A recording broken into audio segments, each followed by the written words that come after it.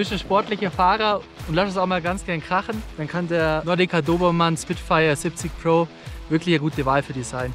Ob das so ist, das test mit dem Video. Viel Spaß beim Zuschauen.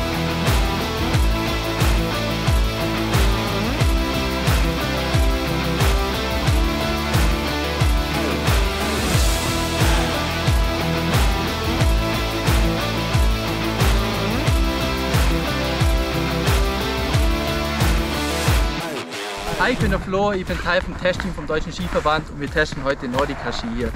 Bedingungen sind super, Wetter ist super, Voraussetzungen sind also alle gegeben für einen tollen Tag. Aber jetzt lass uns keine Zeit verlieren. Ski in Schnee und ab geht die Porsche.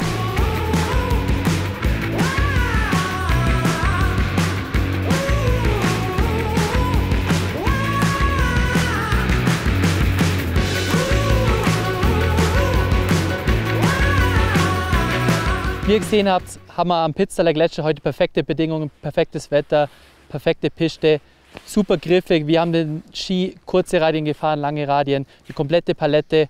Aber jetzt schauen wir uns erstmal die Fakten an, bevor wir dann zu den Bewertungen übergehen und dann zum Schluss ein Fazit ziehen. Hier haben wir Nordica Dobermann Spitfire Pro 70, wie der Name schon sagt, mit einer Mittelbreite von 70 mm aus der Familie der Sportcover. Das Besondere an dem Ski ist, dass er nach einem Multiradius-Konzept entwickelt worden ist. Das heißt, dass an der Spitze und am Ende ein Slalom-Ski nachempfunden ist und in der Mitte an der Taille ein Riesenslalom-Ski nachempfunden ist. Bringt den Vorteil, dass es beides vereint, Drehfreudigkeit und Stabilität in der Kurve. Ich fahre den Ski hier in 170 cm Länge mit einem Radius von 15 Meter. Empfehlen kann ich den Ski in der Länge zwischen Kinn und Auge. Wenn ihr euch unsicher seid, geht zu einem Sport 2000 Fachhändler, lasst euch beraten. Aber jetzt genug zu den Fakten, jetzt gehen wir nochmal auf die Piste.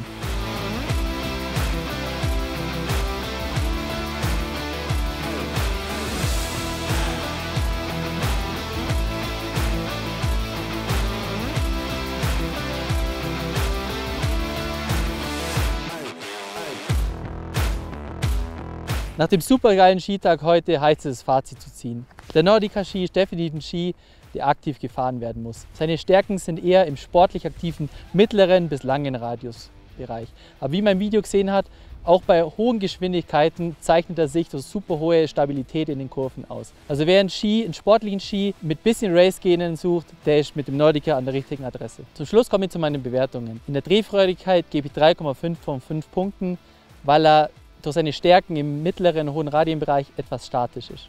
In der Kategorie Kantengriff gebe ich 4 von 5 Punkten, weil er auch bei hohen Geschwindigkeiten guten Kantengriff bietet.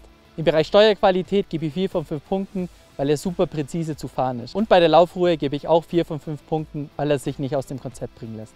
Unterm Strich ist der Nordica ein eher fordernder Ski, aber wenn man ihn zähmt, verspricht er eine Menge Fahrspaß. Ich hoffe, euch hat das Video weitergeholfen.